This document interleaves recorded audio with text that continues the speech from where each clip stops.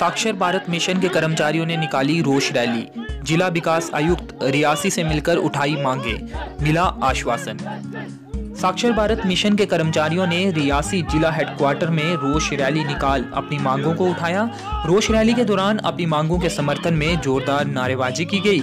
इस दौरान we want justice, save our future आदि नारे लगाए गए। रोष रैली रियासी के जनाना पार्क से शुरू की गई, जिसके बाद रैली मेन बाज़ार, बस स्टैंड व थापा चौक से होती हुई जिला विकास आयुक्त रियासी के कार्यालय के बाहर पहुँची। यहाँ पर जमकर नारेबाजी की गई।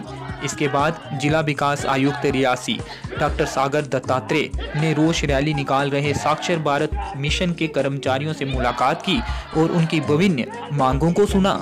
जिला विकास आयुक्त से मिले आश्वासन के बाद साक्षर भारत मिशन के कर्मचारियों ने अपनी रैली को खत्म किया।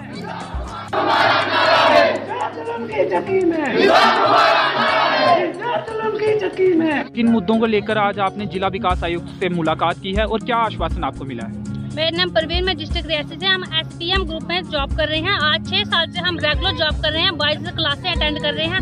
पर गवर्नमेंट हमारे बारे में कुछ भी नहीं सोची। ना हमें रेगुलर कर रहे हैं, ना हमारे पे के बारे में सोची। दो हज़ार हमारे पे है, वो भी दो साल से हो गए। हमें कोई पे नहीं मिल रही है। ना हमारे आगे इस जॉब के बारे में कुछ सोचा। इकतीस मार्च से हमारी ये जॉब भी बंद करी है। बताओ कि अगर हमने चार साल इस जॉब में, इसमें जॉब की है, हमारा आगे क्या रिज़ल्ट क्या हम सोच सोचेंगे?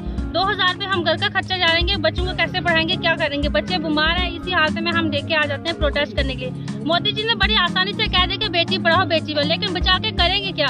हम अभी इसमें धूप में हो धूप हो, बारिश हो, कुछ भी हम प्रोटेस्ट के लिए आ जाते हैं कि हमें परमिट किया जाए, हमारी जॉब बनाई जाए। जॉब पॉलिसी कुछ बनाई जाए, हमारे बारे में कोई कुछ नहीं सोच रहा है। आज हम आपसे रिक्वेस्ट करते हैं डीसी साहब से भी और हर मिनिस्टर से गवर्नर से हम करते हैं अपील करते हैं कि हमें परमिट किया जाए, हमारी रेगुलर जॉब बनाई जाए, ताकि हम अपने बच्चों का स्केयर बनाया जाए, इनको जाए मेरा नाम मुश्ताक अहमद है मैं साक्षर भारत मिशन का एम्प्लॉइज हूँ सर ये सर साक्षर भारत मिशन एक सेंटर की एक स्कीम है ये 2009 में लॉन्च हुई थी। और हमारे जम्मू कश्मीर में 2014 में ये मेरिट बेस पे हमें लगाया गया था। तो उसके बाद सर 2014 के बाद हमें ना ही टाइम टू टाइम सैलरी मिलती है ना ही हमारी कोई कंक्रीट जॉब पॉलिसी बनी अभी तक। हमने हज़ार बार हंगर स्ट्राइक की। मैं मोहम्मद मानशा साक्षर भारत का डिस्ट्रिक्ट प्रेसिडेंट हूँ।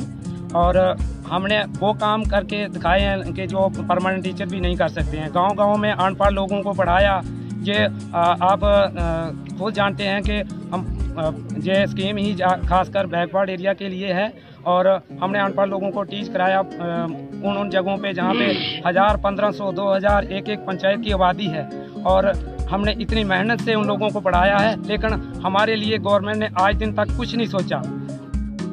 Mahajan super near Bhimgarh fort Katra road Reasi Reasi में पहली बार लेकर आए हैं सभी होम इलेक्ट्रॉनिक्स और फर्नीचर प्रोडक्ट्स और वो भी एक ही छत के नीचे। हमारे पास होम इलेक्ट्रॉनिक्स और फर्नीचर की लार्ज वैरायटी उपलब्ध है। तो आज ही रुक करें महाजन सुपरमार्केट का और खरीदें अपने मनपसंद होम इलेक्ट्रॉनिक्स और फर्नीचर के उत्पाद। हमारा पता है near Bhimgarh fort Katra road Reasi.